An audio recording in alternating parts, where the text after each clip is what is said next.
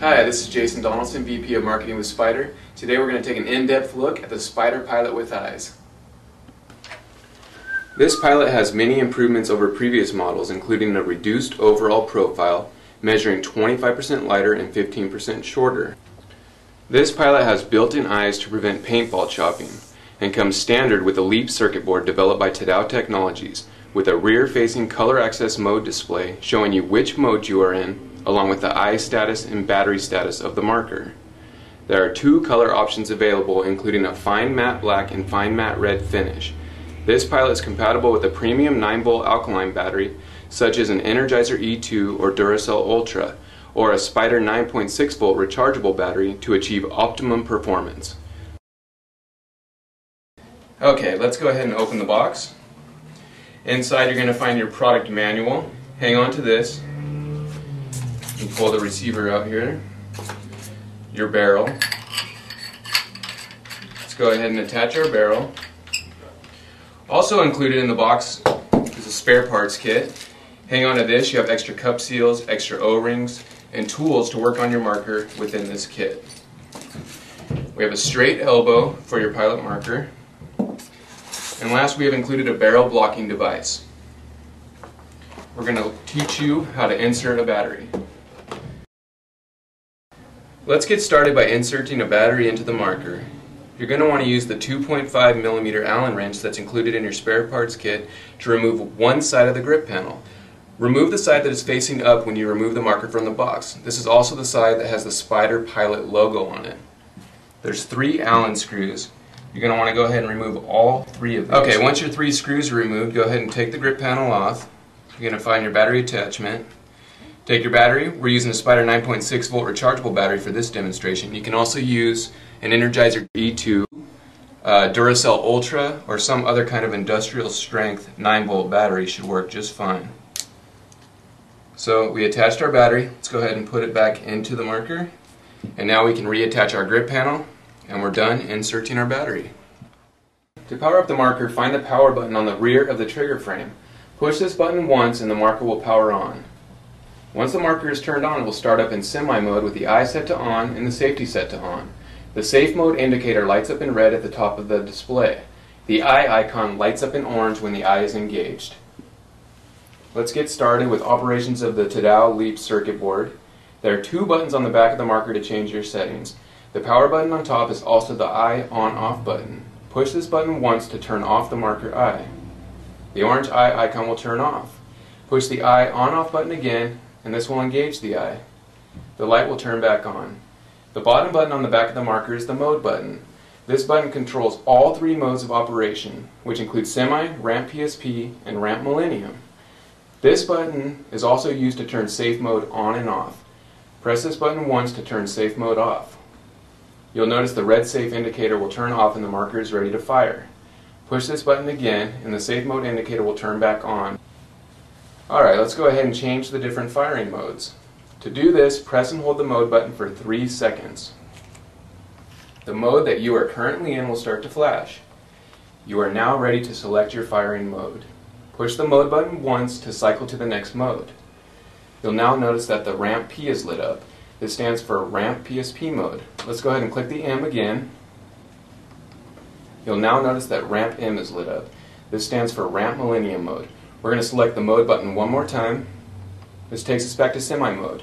To lock it into any one of these modes, click and hold the mode button for three seconds. You'll notice that the mode you are in, the light stops flashing. This now means we are ready to fire our marker in semi mode. To power down the marker, you push and hold the power button for 3 seconds.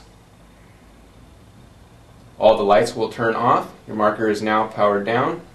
And that is how to work the LEAP circuit board by Tadao Technologies on the Pilot with Eyes marker. We're going to show you how to adjust the settings for your magnetic resistance saber trigger. The screw furthest away from the trigger controls the magnetic strength. Screw this in and it will increase the magnetic resistance of your trigger. Screw this out to decrease the magnetic resistance of your trigger. This will actually create a lighter trigger pull. The middle screw adjustment sets the trigger distance from the electronic switch. Go ahead and screw this in and it will bring the trigger closer creating a shorter trigger pull, closer to the marker that is. Screw this out to pull the trigger further away from the electronic switch. And the last screw is the one right next to the trigger. This uh, screw controls the post travel of the trigger. Go ahead and tighten this and it will shorten the back travel of the trigger after it has set off the electronic switch. Next we're going to show you how to adjust the velocity on your Spyder Pilot with Eyes marker. You're going to need the 3mm Allen key provided in your spare parts kit. The velocity adjustment is on the back of the marker next to the rear plug. You're going to take that 3mm Allen key, screw it clockwise to increase the velocity of your marker, screw it counterclockwise, this will decrease the velocity of your paintball marker. Okay, now we're going to show you how to remove the bolt from your uh, Spyder Pilot with Eyes marker. Sometimes you want to remove your bolt if you break paint and you want to get inside and uh, clean the marker with a squeegee. So what you're going to want to do, take your marker, go ahead and pull up on the top cocking knob. This will release your Delrin bolt from your striker. Now you can remove the bolt from the back of the marker. You can get in there to clean your marker now. Also you're going to want to remove this bolt if you want to take the internals out from your marker. Now we're going to show you how to remove the internals from your Spyder Pilot with Eyes marker. Take the box wrench located in your spare parts kit. You're going to remove the rear plug from the back of your marker. You'll notice after you unscrew the plug, out will come the spring, the striker buffer, and your striker. Now all the internal parts have been removed. You can oil the striker if you need to, or change the O-ring. Okay, let's go ahead and insert the internals back into our marker.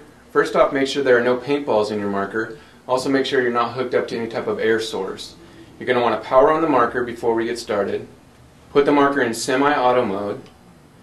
You're going to want to turn the eye off. Also take it out of safe mode. Okay, let's go ahead and grab our striker.